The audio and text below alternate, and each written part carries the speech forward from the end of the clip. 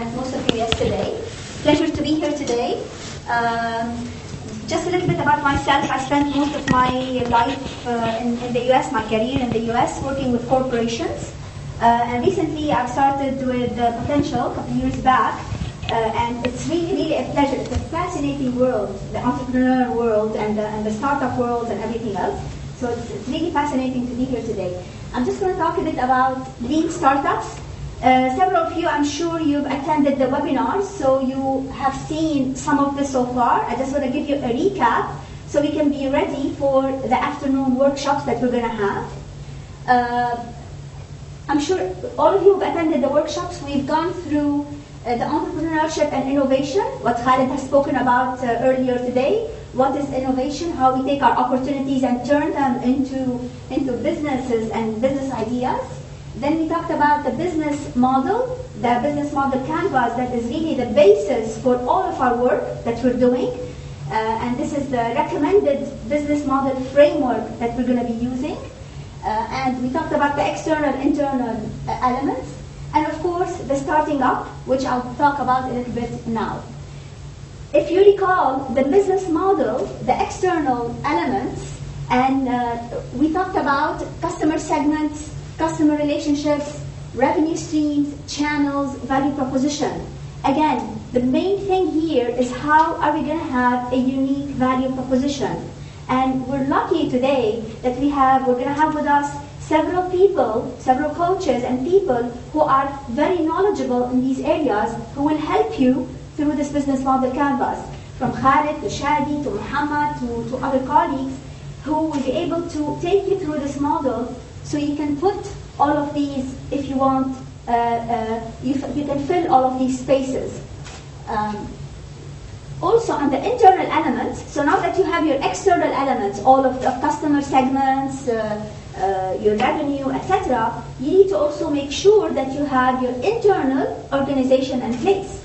So from your resources, whether it's people, physical, your activities, uh, processes, workflows, your partners, whether you're going to have partners or not. Uh, it's not always a must that you have partners, but at some point you might. And of course, your cost structure. So it's not only knowing what is your revenue going to be about, but also what are you going to spend your money on and how you're going to spend your money on. So starting up. When we say starting up, like Khalid said earlier, uh, in the past, how, how did we do startups? We sat there, we did a huge business plan. Uh, we sat there, we did like a whole year of strategy and business planning and all of that. But what happens to startups if we do that? They're going to spend a lot of money, okay, doing business planning, doing strategy. They haven't tested the market. They're spending their money on research, on, on, on developing uh, products that might not be, uh, uh, that might not work in the market, okay?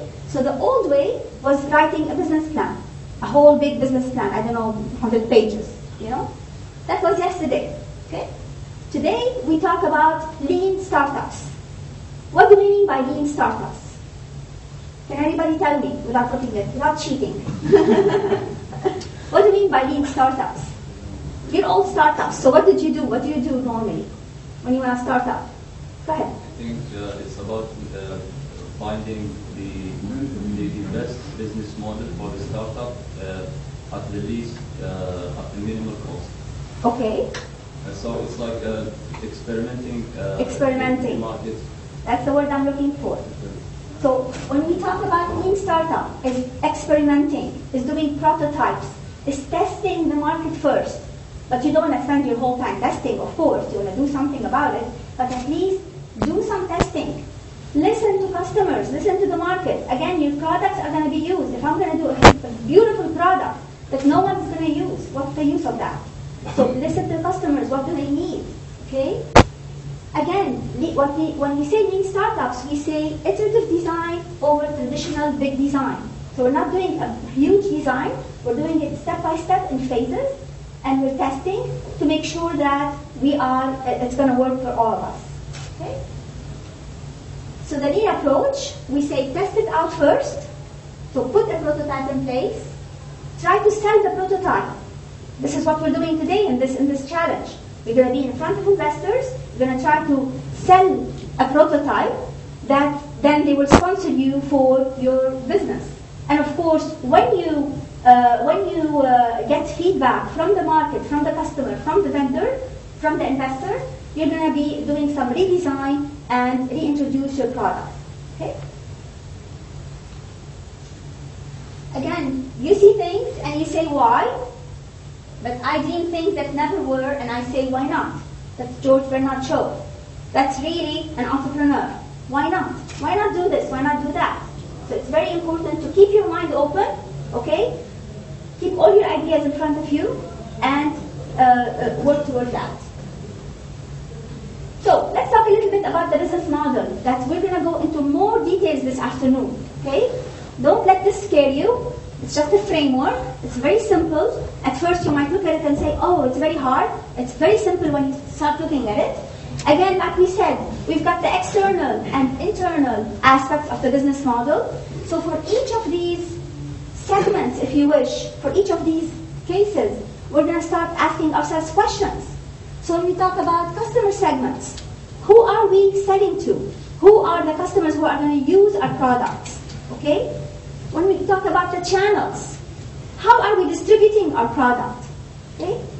When we talk about the relationships, what relationships are we doing with our customers to maintain this, this uh, product?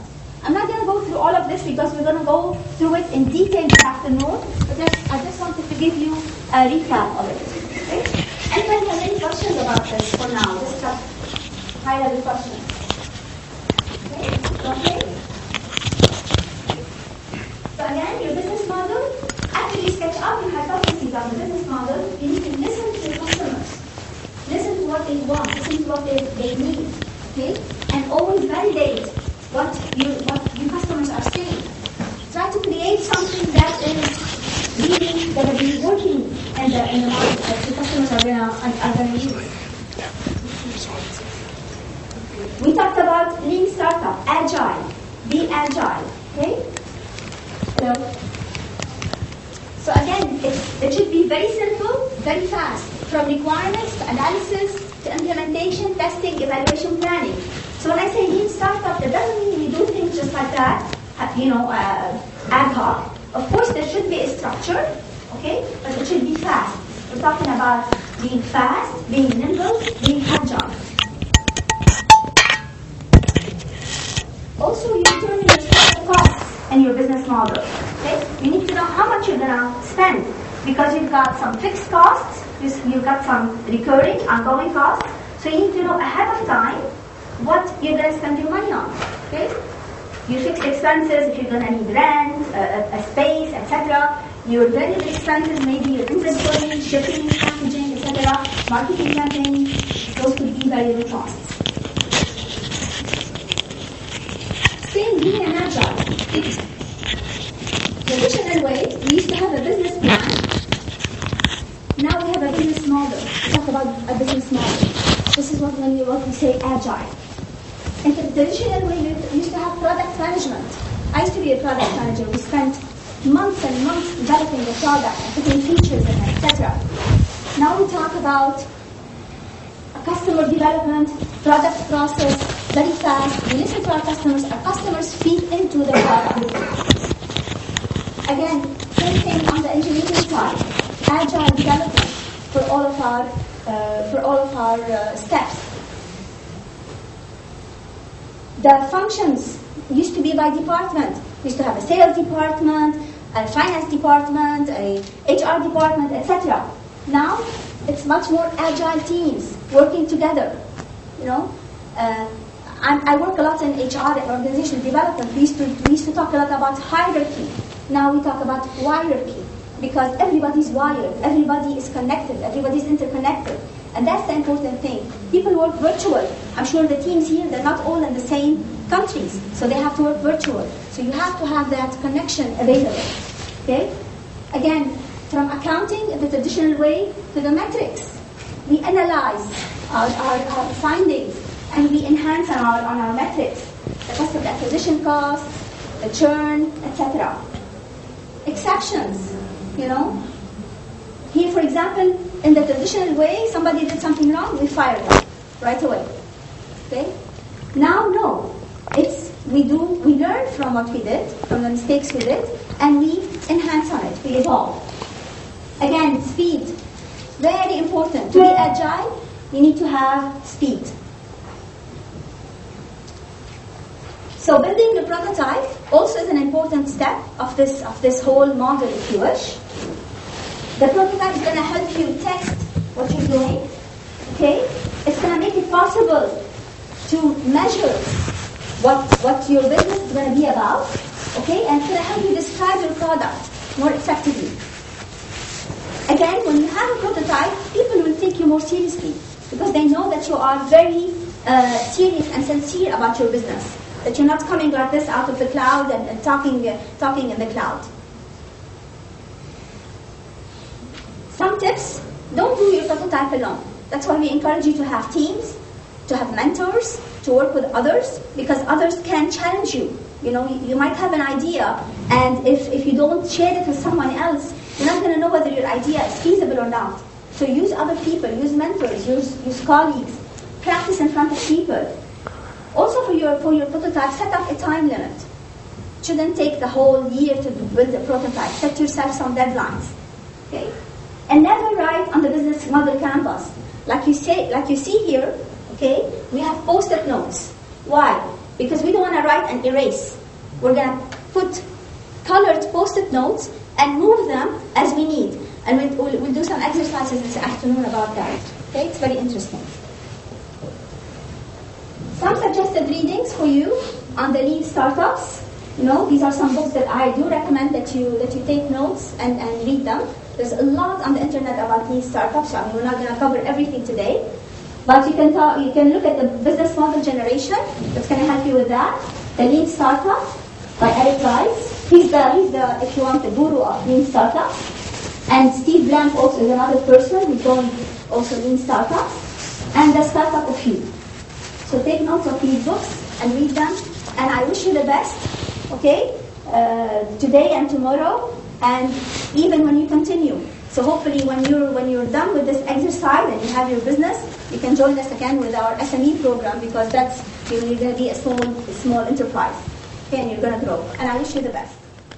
Any questions?